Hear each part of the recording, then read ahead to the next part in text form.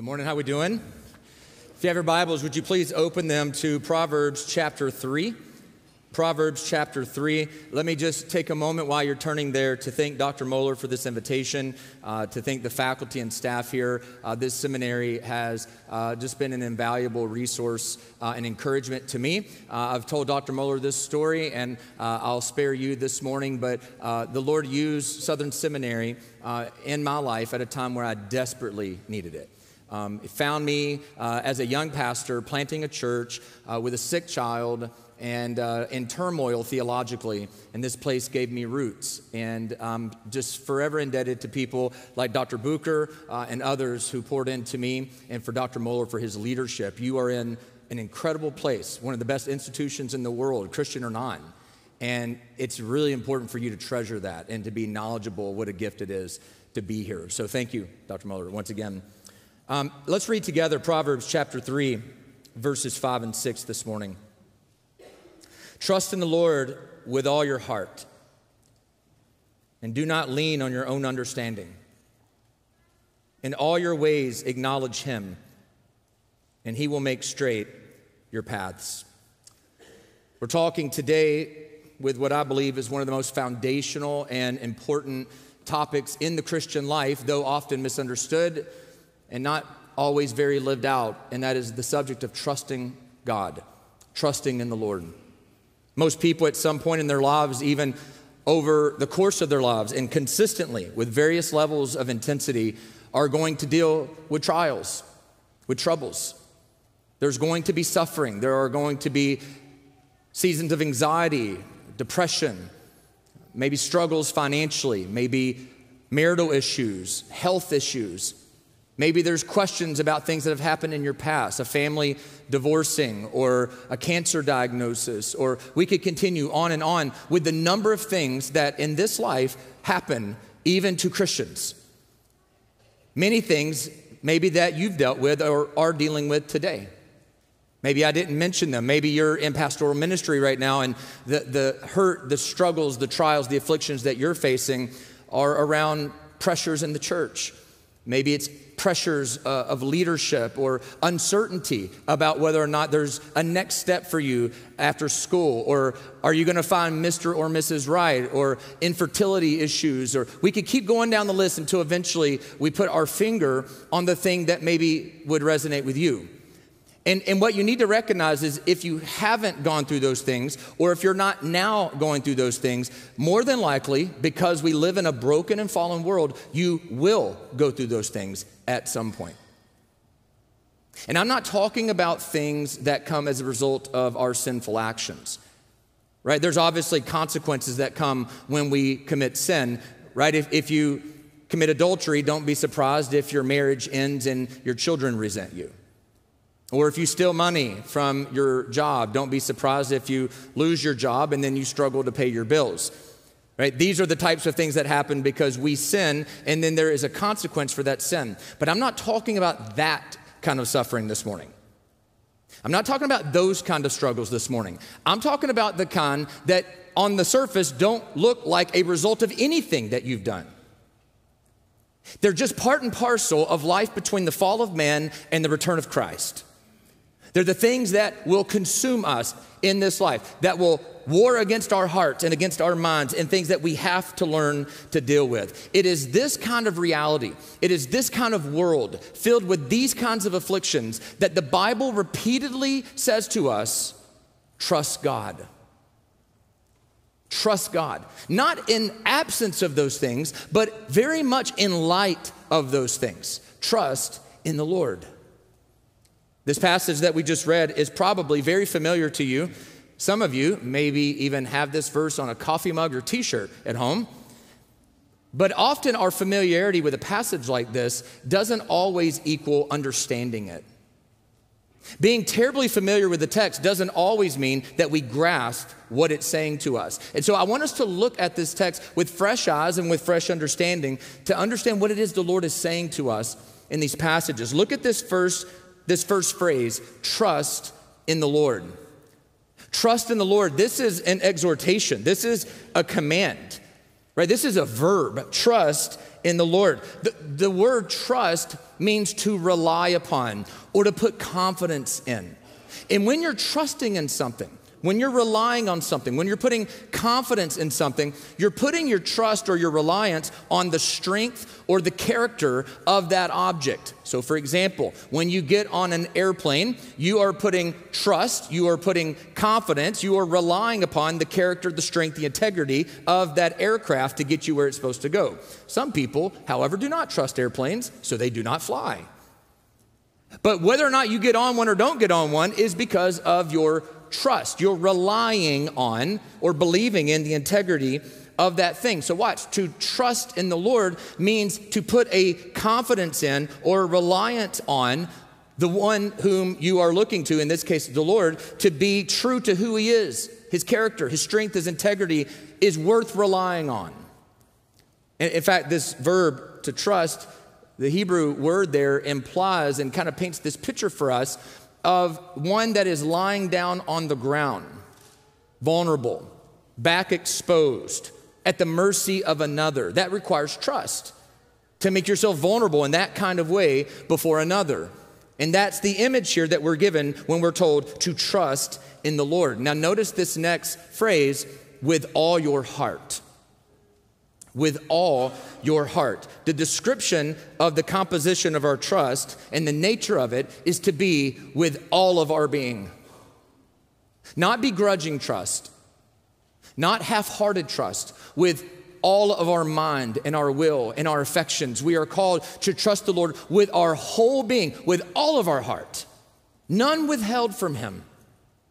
Now, listen, before I move any further, can I just ask you to examine your own heart for just a moment and ask yourself this question?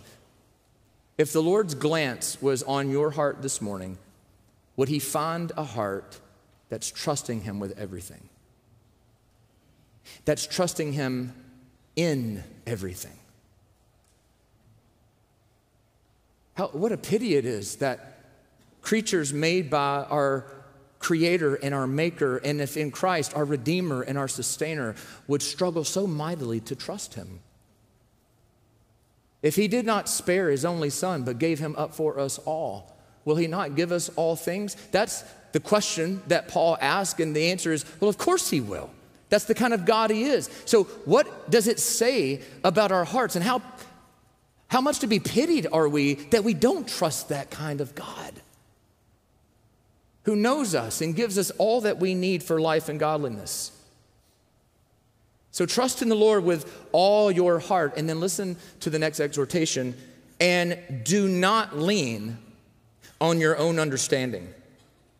The contrast to trusting in the Lord is to lean on your own understanding. So we're told, trust in the Lord with all your heart, and then we're told what not to do. Do not lean on your own understanding. This idea of leaning on your own understanding is really this picture of resting on something for support. You ever laid a, a, a beam, a two by four or something against a wall? You ever laid something against the wall? You're leaning it on something that you think will hold it up. Do not lean, the scriptures say, on your own understanding, meaning do not rest on, seek to find your comfort in, seek to find your support in what you're going through, the trials you're facing, with your own understanding, your own capacity to make sense of it, your own ability to connect the dots to what you think God might be doing. Do not lean on what you can understand. Do not lean on what you can grasp or make sense of. Because, friends, let me tell you, if you live long enough, there's going to be things you encounter that you'll never make sense of. You're not God, you, you don't have infinite wisdom. So, to lean on our own understanding is faulty. It can't support the troubles, the trials, the struggles that life will and does bring. Trust in the Lord with all your heart. Do not lean on your own understanding. So much of the troubles in life that we face, the fears, the worries, are rooted in our fears about tomorrow. They're rooted in fears about the future. So many of our difficulties, so many of our struggles rely on what he points to in the passage the question of whether or not he will make our path straight. At the end of the day, that's what we're all asking, isn't it? Is the Lord going to make my path straight? Are things going to be okay? And there's this sobering thing that happens. The, the more you live, the more in the Word you are, is you come to this recognition that you are truly impotent. You are truly helpless and weak to control the future. You have no control of tomorrow. You don't control the next hour. You don't control next week. You don't control next month. You don't control next year. So at the end of the day, what we're always thinking about is what's going to happen, what's going to come next. And, and what, the song, what the proverb is telling us to do is trust in the Lord in these moments and don't lean on your own understanding. Don't lean on your own understanding. Don't lean on your ability to make sense of it. Because what we do is we live in fear about what we don't control. Even your past hurts inform this, right? If it's happened to me once, it could happen again. If it happened to them, it could happen to me. And all of a sudden, we let our mind think about the future that we don't control, and we can find ourselves restless. You see, what's not uncommon today are trials and tribulations. What you will find very uncommon are hearts that are at rest in the midst of those troubles. Troubles and tribulations are not uncommon at all. What is uncommon is to find people who will trust in the Lord. So, so listen, the struggle that most of us have is rooted in this lack of control, and it leaves us with two options every moment. Am I going to trust the Lord, or am I going to lean on my own understanding? And I wish, guys, I could give the disclaimer and say, hey, this is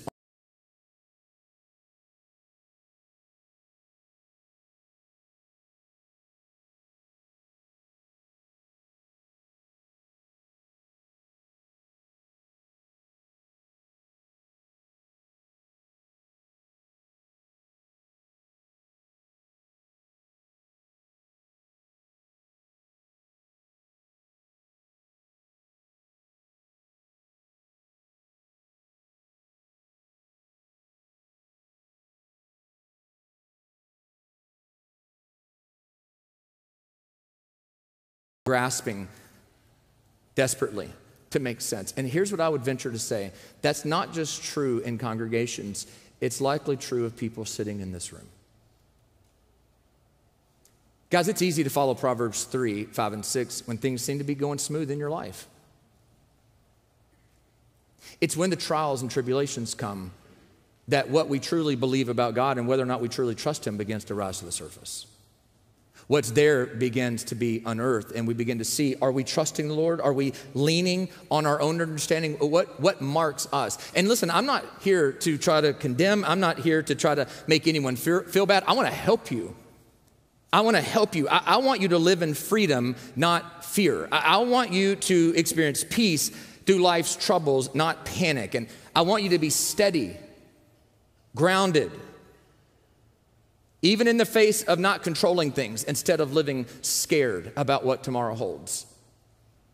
I want you to live confident in God's plan for your future, even when your past may be marked by hurts and troubles. And I'm not speaking to you today in theory. I'm a fellow traveler along this road. I was a young man, I was newly married over a year when we discovered we were having our first child, our son Caleb. I was 24 years old and hadn't had much experience with suffering or troubles and trials in my life. I have a, mar- a married parents still together, provided for us. And I somewhat developed this theology of suffering that said, yeah, bad things can happen in the world, but if you, if you are faithful and you follow the Lord, you probably will be exempt from the bad stuff. I was never taught that. I, I never even maybe would have articulated that, but it was under the surface. There was this expectation that, you know, if you're faithful, you know, you're not going to get any bad things, not the bad, bad things. And then we discovered that my son had an issue going on in his abdomen when he was still uh, in the womb. And then he was born, and we, we, discovered that he had a bad kidney, had cysts all over it. He was born premature, and the doctors said we, we got to get this kidney out and we needed to get him big enough to have surgery. So we waited a few months and it was this back and forth struggle with he's, he's continuing to get sick and we got to get him bigger. And, and then finally, like, we can't wait any longer. We got to take this kidney out. And he's got a good kidney. He'll live a perfectly normal life, a good kidney, no troubles. And so they went to surgery. And the surgery was over, and we felt such a relief. We felt like this nightmare is behind us. We can go raise our child now. We don't have to be in the hospital anymore. And then several hours passed, and then 12 hours passed, and 18 hours passed, and he still hadn't urinated, and, and they were beginning to see him swell up, and his blood pressure was rising. And they did some tests and ran some, um, ran some, some imaging, and they discovered that not only had they taken out that bad kidney during that surgery, but they had removed his good kidney along with his bad kidney. And in, in a moment, in an instant, our whole lives were thrown upside down. And I had no theology of suffering to comprehend how to make sense of this. And so we went through a period of two years where my son would go through dialysis. We'd go to the hospital for hours at a time. His blood would circulate through a machine, waiting for a kidney transplant. At two years old, my son received a kidney transplant. And all the while, not only are we walking with him in his physical reality, but we're trying to make sense theologically about how do things like this happen and where is God in the midst of this and we're on a journey to go can we trust god about this future? Because now here's the reality. Now my son forevermore is going to be on medications. These kidneys a kidney transplant doesn't last forever. At some point he'll have to have another one. This is probably going to shorten his lifespan. And now i'm living with a whole new set of daily fears of things i don't control. I began to experience crippling anxiety. Never had anything like that before. A panic attack that felt like I was having a heart attack was 24 years old. And I didn't know how to make sense of any of these things. And as my son finally gets a transplant at two and life begins to stabilize a little bit, we're, we're, all learning together. As my son ages, I'm having to teach him about what happened to him and about trusting the Lord in his life as I'm even preaching to myself as I'm talking to him about those things. That's also where Southern Seminary came in is a massive part of my life and is a gift from God to help me to make sense of where is God in the midst of these things because see the scriptures are not silent on these things at all. My son from ages 2 to 13 lived a pretty normal life like most people. Of course, we went to the hospital all the time. He was on medication constantly. He dealt with respiratory issues as a side effect, but compared to the first 2 years, it was normal. He went to school, he played sports, he was a long suffering Tennessee Vols fan like his dad. Right? We went to ball games together. He went to camps when I would go speak at student camps. I mean, he, he was, if you didn't know, he was just like anyone else. But in the fall of 2017, my son got sick and went to the hospital. And within a week of being there, he went unconscious for three weeks. And they discovered that he had something called fungal meningitis and he had a stroke. And when he finally came to three weeks later, he had no motor skills. He couldn't speak. He couldn't use his hands and his legs. And we began a period of months of rehabilitation. We went and lived in Atlanta in a rehab facility where he regained much of his motor skills, but he never recovered his speech. My 13 year old boy's life was turned upside down all over again, from playing video games with his buddies to not even being able to talk. Within a year of rehab, he began to regress because of neuropains and he quit being able to walk. He was wheelchair bound, eventually to the point where he lived in constant pain and we were changing him like an infant, caring for him around the clock. In November of 2019, he went into the hospital for a respiratory infection, which we had been many, many times for the same issue. And we expected it would be just like every other time. We go in, we get antibiotics, we're there two or three weeks, we go home. That was just life for the Reed family. We understood it. Our girls understood it. We kicked into hospital mode. Except, friends, this time my son didn't go home. Doctors came and told us that he wasn't going to get better. And so, me and my wife and my girls, along with family and friends, stood around his bedside and gave thanks to God for his life gave thanks to God for his salvation and redemption awaiting. But we said goodbye to my son. December 1st, 2019. Four years later, and all throughout those 15 years, I can tell you that that journey of learning to trust in the Lord with all your heart and do not lean on your own understanding is not something that's theory for me. I'm still having to choose to trust every single day. Often thoughts will come to my mind about if the Lord gives me 40 more years and I live in, to be 80, will I remember what his little voice sounded like? You know, will the memories that I had with him when I was in my 20s still be there? Or were they, and, and, and watch, and these types of thoughts, if I feed them and I just keep, if I just keep focusing on them, they start stirring up that anxiety and that fear and that worry. And I have to remember no, no, no, Erik, don't lean on your own understanding. You can trust the Lord. If He gives you 40 more years, He'll give you the grace you need 40 years from now. You don't need it today for 40 years ahead. You need today's grace for today's troubles, and you can trust that the Lord will meet you 40 years from now if you need it then, because you will. Don't lean on your own understanding. What's the answer to dealing with these kinds of things in life? Here's what the Bible's answer is trust in the Lord. And that sounds so, so simplistic to us that it can't possibly be practical, right? That, that sounds so cliche and trite. You know, just trust the Lord. Because don't people say that oftentimes? But listen, is it practical? Is it practical to trust in the Lord? The answer is yes. It's, it's the key to everything.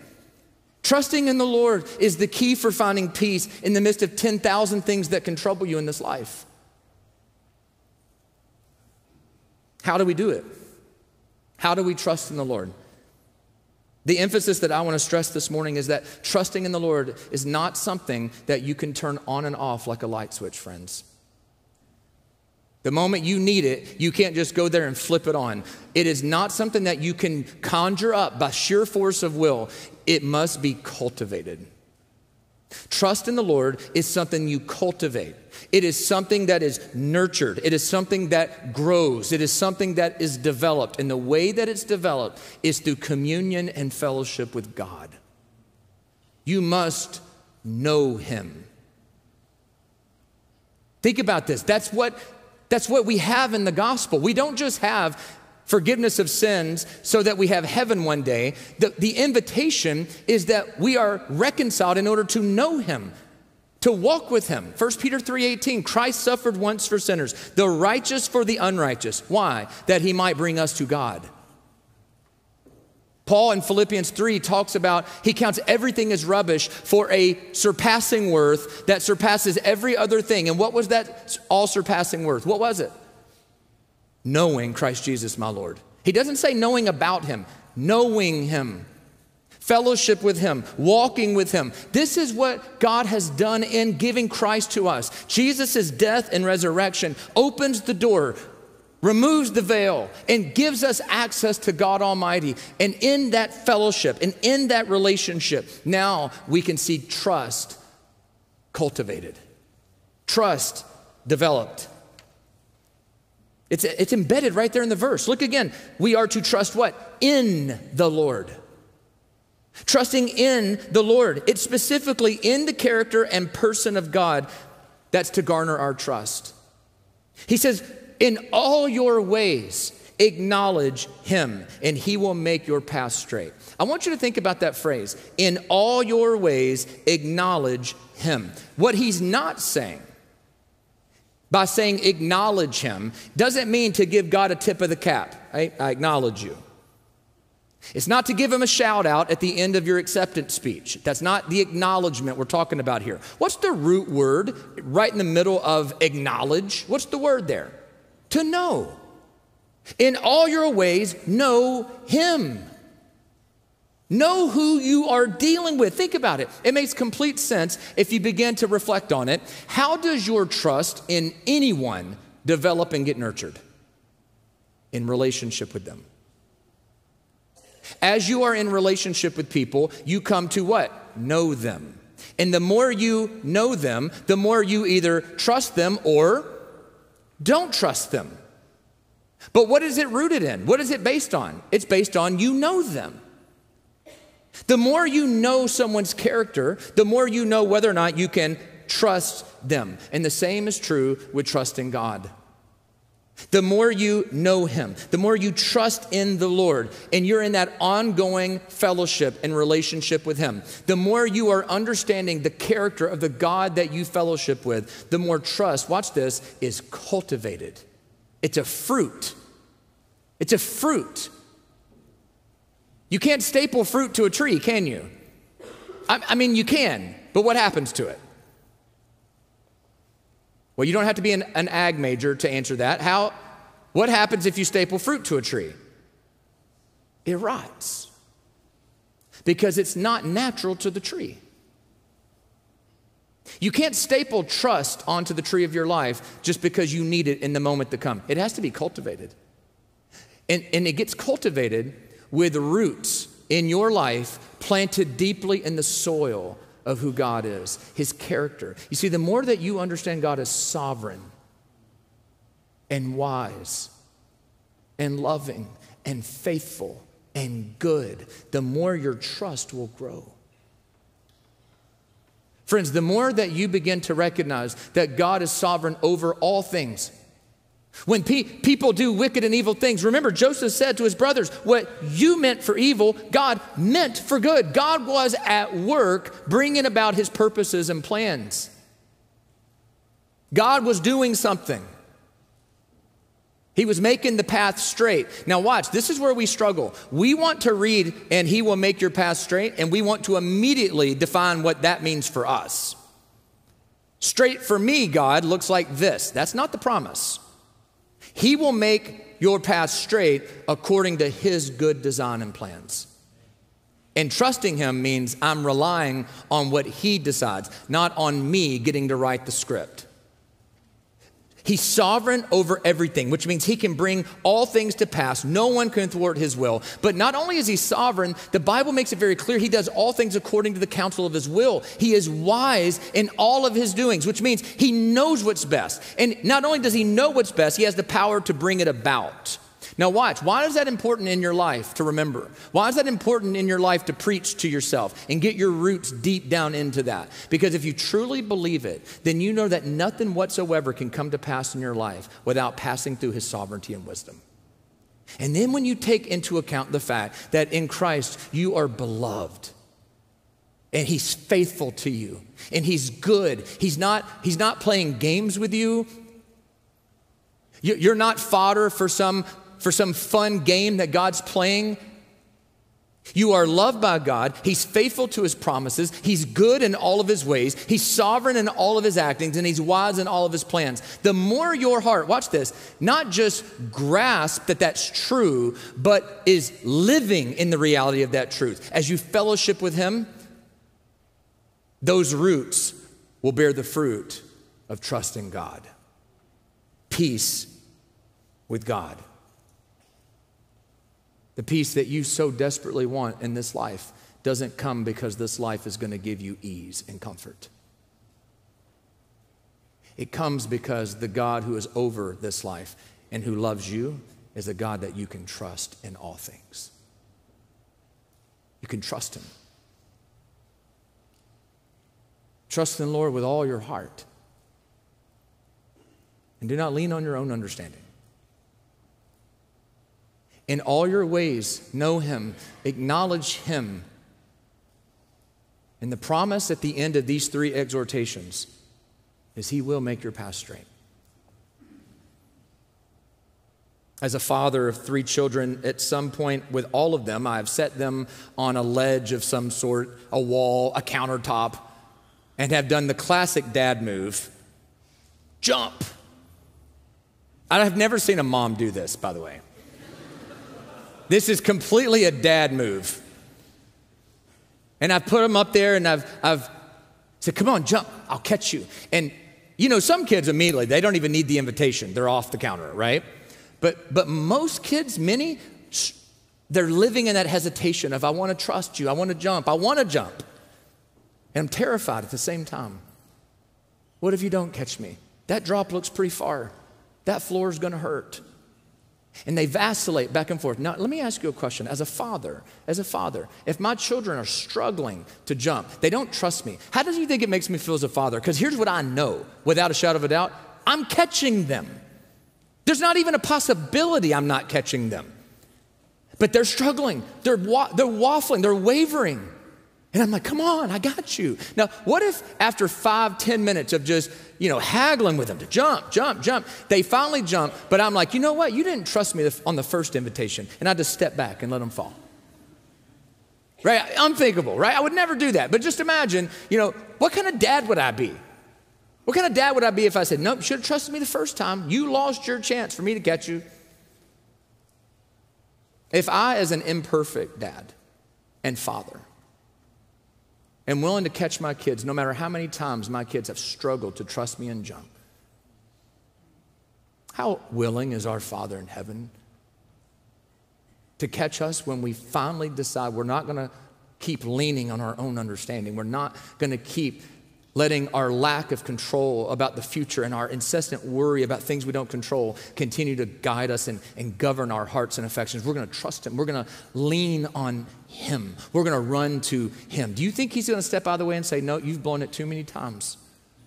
Remember that thing you didn't trust me with? Remember that worry you do every night? You know that little pattern you go through where you're so convinced that things are going to be bad for you or that I'm not going to be faithful to you in all that you go through? He doesn't do that to us. He invites us to trust Him. And friends, if you are in Christ this morning, He did not spare or withhold anything from you. You can trust Him with everything. In this life, you will have troubles, Jesus says, but take heart. I've overcome the world. There are great, precious promises that are ours in Christ. And so you could lose everything in this life. But as is written on my son's tombstone, to live is Christ and to die is gain. And all the promises of God that we have remind us that we can trust Him in this life because He has given us promises far beyond just this life. So trust Him, friends. Trust Him in the smallest of things and trust Him with the greatest of things. And do not lean on your own understanding because our God is the one who makes paths straight. So trust Him with all your heart. Let's pray. Oh, Father, thank you for your word this morning. Thank you for what an encouragement it is to our souls. We need it so desperately, Lord, because our hearts are so fickle. Our minds are so quick to dart and to race onto all kinds of fears and worries. We feed our hearts with fear about tomorrow and things we don't control, and we plot out scenarios of worst case worst case uh, scenarios and, and circumstances in our lives instead of resting in you. And I know that's true of, of people in this room today, just as much as it's true for people outside of it. And I know that there are many here that are engaged in studies and in ministry and perhaps more than the average Christian has a knowledge and an education beyond the average individual. I, I pray that in the midst of all of this, that our knowledge of you would not simply become intellectual candy, but that it would serve to feed our soul's trust in you. That we would turn every study, every opportunity to read your word and to fellowship with others, to read books, that all of it would serve to know and trust you more. That in the midst of busyness, we wouldn't neglect fellowship with you, communion with you. Oh Lord, I pray that these students, these faculty, even myself today, would be renewed in our desire to know and trust you more because you are good. Jesus, we love you. Thank you that we have these great promises because of what you have done for us. We pray all these things in your great name. Amen.